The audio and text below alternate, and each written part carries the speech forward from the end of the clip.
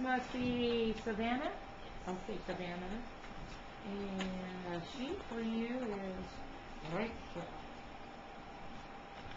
Thank you. So, Spanish, David and I am singing vegetables.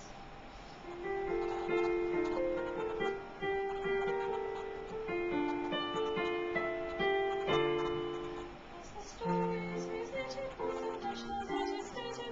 the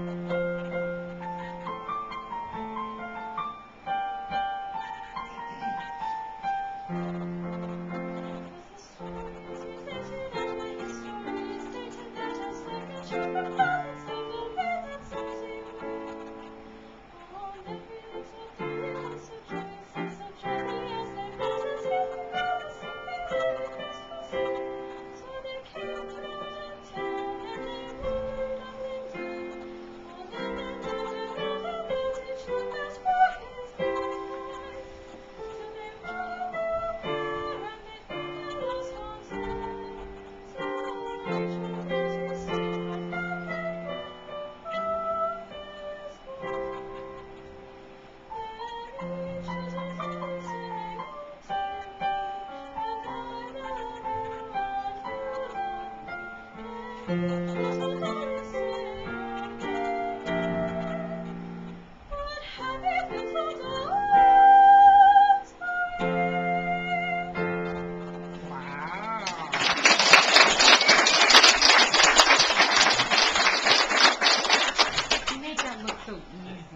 know, you just pop those notes out above the staff like that. Now, regardless of how fast those words are going to come, you still have to move the lips to make sure they all come out so we can understand them. So even though you're concentrating on where those stitches are at, you got to be very, very careful about that. Just make sure we're still understanding the story. You know it back and forwards, okay? But for some of us, we're sitting here in all of your beautiful voice, and we need to be told the story very clearly. So regardless of how fast those words are, you still get them all out. Or we might have to slow down the song just a tish so that you can still get them out, okay? See what I mean? Because you have all of that potential to do that. Are you seventh, eighth, you say?